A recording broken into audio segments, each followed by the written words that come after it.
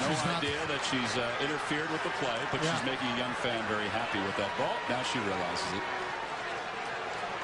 That is the second time that's happened this spring. that was a pretty clean play, though. Well, we got to give her credit too. Second girl in six years.